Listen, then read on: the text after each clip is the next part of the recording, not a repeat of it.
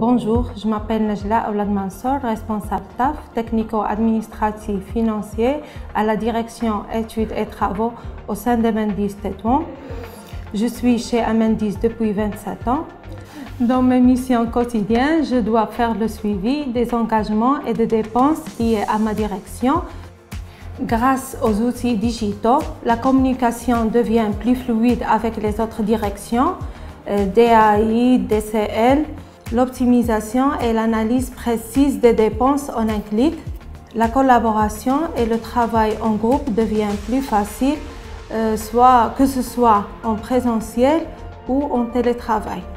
L'utilisation de ces outils digitaux ont permis également à procéder à la signature électronique de certains documents en interne tels que les ventilations, les heures de travail, les fiches pointage, euh, la suppression des imprimantes monopostes et déploiement des imprimantes multifonctions, euh, la réduction progressive de l'utilisation du papier, organisation des réunions euh, au sein de la direction avec Google Meet, fréquemment utilisé en période de confinement,